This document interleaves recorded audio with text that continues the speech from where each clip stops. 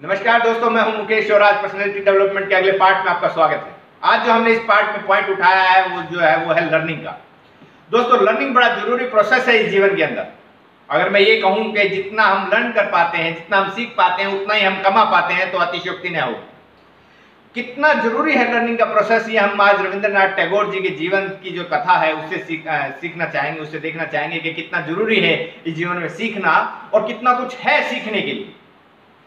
कहा जाता है कि रविंद्रनाथ टैगोर जी जब अपने अंतिम क्षणों में थे, थोड़े दुखी थे, कुछ आँखों में आँसू थे तो उनके पास जो सेवक रहता था, जो उनका असिस्टेंट था, उन्होंने पूछा, कि मोर दादा, मृत्यु और भय, क्या मृत्यु नज़दीक है, इसलिए भय लग रहा है आपको?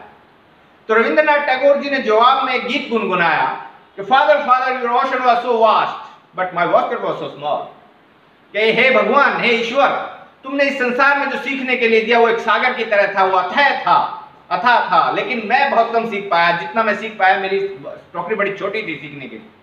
क्योंकि जितना मैं सीख पाया, बहुत कम था। इतना कुछ दिया आपने इस संसार में सीखने के लिए। तो दोस्तों, इससे हमें पता चलता है कि जब रविंद्रनाथ टैगोर जी जितना सीख पाए, वो भी उन्हें कम लगता था तो हम अपने जीवन में कितना सीख पा रहे हैं। तो सीखना बड़ा ज़रूरी है। तो इतना इतना कहना चाहूँगा मैं सीखने के बारे में कि मोर अर्निंग मोर लर्निंग कि अगर आप ज़्यादा कमाना चाहते हैं तो ज़्यादा सीखिए। और जितना आप सीखना, सीखेंगे, उतना आपका विकास होगा, उतनी आप अर्निंग कर पाएँगे। That's all for today thank you very much आज के लिए इतना ही। थैंक यू दोस्तों।